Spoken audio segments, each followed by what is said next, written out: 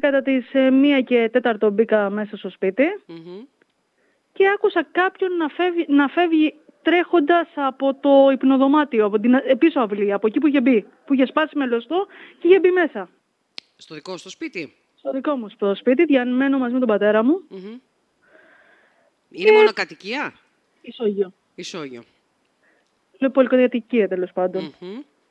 Και όχι τίποτα άλλο. Ε, τον είδα εγώ φεύγω να με είδε, αλλά έκανε ένα βήμα πίσω και λέω κάτσε και άμα είναι κι άλλος μέσα Μμμ. και με χτυπήσει, δεν, δεν, δεν το παίζεις κόρονα γράμματα τη ζωή σου. Μμμ. Απλά μετά φώναξα βοήθεια απ' έξω, πήρα το 100.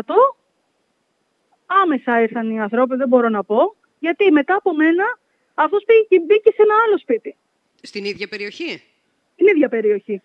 Το οποίο βρίσκεται πού ακριβώς; Με δύο τετράγωνα παρακάτω. Μπήκε από το παράθυρο από ό,τι έμαθα Μμμ. και η οικογένεια ήταν μέσα.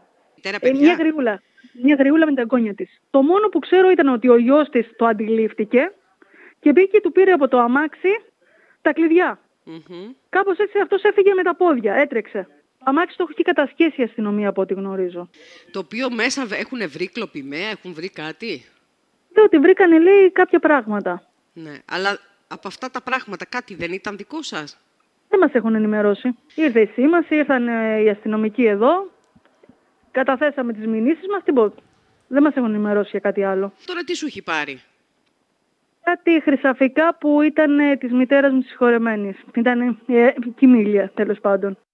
Ενώ είχα το κινητό μου επάνω στο τραπεζάκι και είχα ξεχάσει της δουλειά στο κινητό, δεν το άγγιξε. Αυτός έψαχνε χρυσαφικά ή χρήματα. Μμμ. Και Το πήγε. δωμά... το δω... πήγε, ακρι- ε, λίγο έψαξε του πατέρα μου στο υπνομοδωμάτιο και πήγε καρφί στο δωμάτιό μου. Νιώθω περίεργα, υπάρχει ένας φόβος. Λέω και, και αν ξανάρθει, και αν ε, το έχει πει σε κάποιον άλλον. Γενικά εδώ η πυροχή είναι απόμερα. Φωτισμός αρκετός δεν υπάρχει το βράδυ, αλλά να μου πεις μπήκανε μ- μ- πρωί.